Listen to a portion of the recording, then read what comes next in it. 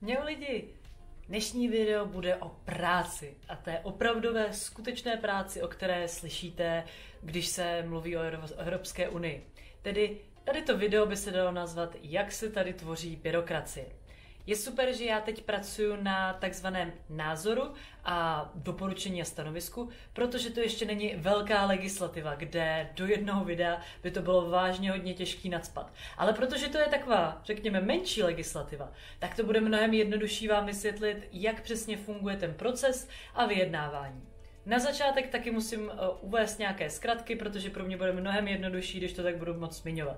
Takže budu říkat AFET, to nemá nic společného s drogama, ale AFET je zkrátka zahraničního výboru, v němž sedím, a INTA, což je výbor pro mezinárodní obchod.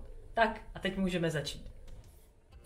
Jak jsem vám říkala v různých úvodních videích, třeba tom o výborech, eh, na začátku bylo vyjednávání. Vyjednávání o tom, kdo si jaká vezme témata, aby jakmile pak přijdou, ať už právě v legislativní podobě nebo tady toho stanoviska, eh, tak jsme věděli, kdo je bude takzvaně spravodajovat.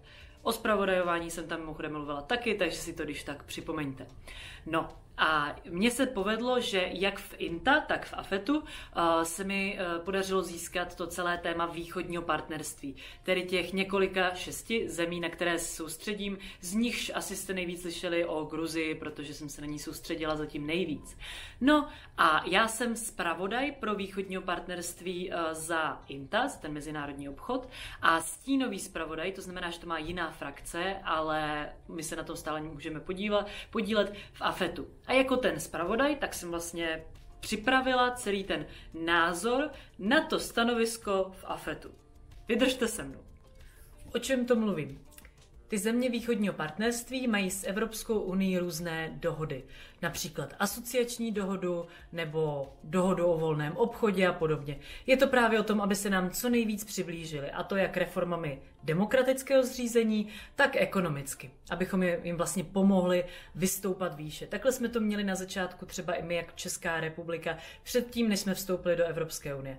Neznamená to, že do Evropské unie vstoupí v nejbližších klidněji 20 letech, ale znamená to, že se nám přibližují, což je samozřejmě vzájemně výhodné mít tam silnou, stabilní a ekonomicky uh, prosperující zemi. No a samozřejmě udělanou práci je potřeba kontrolovat a potřeba ji posouvat dál. A od toho bude tady to doporučení a stanovisko toho výboru AFED a od toho tam taky INTA, Mezinárodní obchod, dává svůj názor. Protože to je taková kombinace faktů, tedy jak skutečně ekonomicky pokročili, kde udělali ty reformy, jaké měli. To je hodně ten ta INTA záležitost, protože ty samozřejmě mají všechna ta fakta, ví seznam, co se mělo udělat, mají seznam, co se udělalo a ten AFED potom posouvá to ještě dál kam můžeme posunout ty reformy, kde ty země trošku selhaly a jak to můžou napravit, eh, kde naopak eh, to můžeme prohlubovat, to spolupráci. No a to jsme vytvářeli teď a to vám popíšu, jak přesně probíhalo. Nejdřív jsem já za INTA musela dodat fakta. Tedy já jsem to tak chtěla, protože si myslím, že obzvláště v téhle oblasti politika založená na datech, na důkazech je ta nejlepší možná. Nejdřív mi přišla výzva ze sekretariátu toho výboru INTA, že mám tedy připravit draft a přinést fakta. Respektive já jsem se rozhodla do toho přinést co nejvíc faktoide, protože moje pirátská politika je založená na těchto datech a důkazech. A zvláště v tomhle ohledu, kde skutečně máme ty seznamy, kdo co udělal, je to ta nejlepší možná politika. No takže jsem si se svojí asistentkou sedla, Domluvili jsme se, jakým směrem chceme jít, jak to přesně chceme udělat a ona následně načetla podklady a draft připravila. Já jsem potom obepsala všechny své kontakty, které jsem postupně za těch pár měsíců nazbírala, ať už experty nebo lidi prostě orientované v tom regionu a právě i proto byl teď ten několik měsíců důležitý ten networking, protože když už se na něčem doopravdy pracuje, tak to můžeme implementovat. Ty mi dodali nějaké další poznatky, typy a rady, probrali jsme to, implementovali a posunuli dál. Tohle všechno trvalo cirka týden. Občas je i víc času, ale občas jsou termíny dost šibeniční.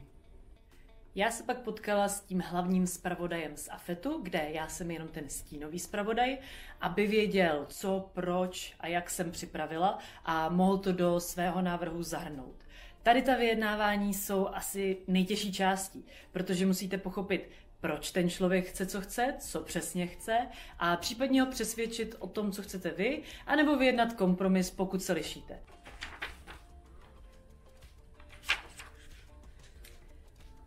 Bilaterální setkání jsou nejdůležitější, ale uh, jsou tady setkání celého výboru. To je malinko formalita, a protože europoslanci už samozřejmě se spolu setkali, vydiskutovali jste a podobně, ale důležitá formalita celé transparence parlamentu, protože uh, zpravodaj tam přednese jeho příspěvek, všichni to okomentují svými postoji a celé je to samozřejmě nahrávané a sdílené, často vám to sdílím a teď vám třeba ukážu to, jak jsem si tam zpravodajovala a četla to já a můžeme to takhle předat občanům, aby věděli, co se děje. Protože samozřejmě nemůžu vás brát sebou na úplně každý meeting, co mám na každou schůzku a tímto způsobem aspoň můžete vidět, co tam reálně děláme. Thank you, Chair. Uh, dear colleagues, I'm here to present the draft opinion on the recommendation to the Council, the Commission and the EAS on the Eastern Partnership in the run-up to the June 2020 summit. téhle místnosti jsem teď eh, právě dokončila vyjednávání o těch pozměňovacích návrzích. Probíhalo to víceméně tak, že jsme si je předem připravili do takových balíčků těch pozměňovacích návrhů a snažili se tady teď s ostatními uh, frakcemi uh, dojednat, na jakých balíčcích pozměňovacích návrhů se shodneme a na jakých ne. Eh, já jsem je samozřejmě předpřipravila a jako ten zpravodaj mám právo de facto odmítnout nebo nepřijmout, jaký chci, ale následně je to otázka hlasování. Takže pokud nemám většinu, neprohlasuji nic. Eh, bylo tedy třeba velice důkladně zvážit, co kdo chce, proč to chce, jak už jsem říkala, a přijmout eh, většinu.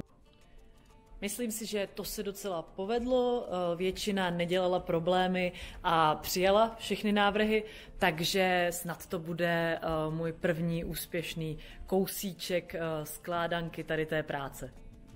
Nakonec se to všechno schválí ve výboru, konkrétně tom hlavním, v tomto případě tedy AFET. Ale to se stane až za dva týdny, tam teď ještě nejsme. Tohle, co jsem vám teď ukázala, byl v podstatě takový malý zákon.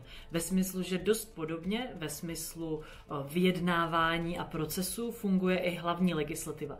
Akorát tam to nepřichází od nás, ale z komise a nevyjednáváte jenom se svými kolegy v rámci Evropského parlamentu, ale musíte úplně stejně jednání a kompromisy tvořit i s ministry z rady.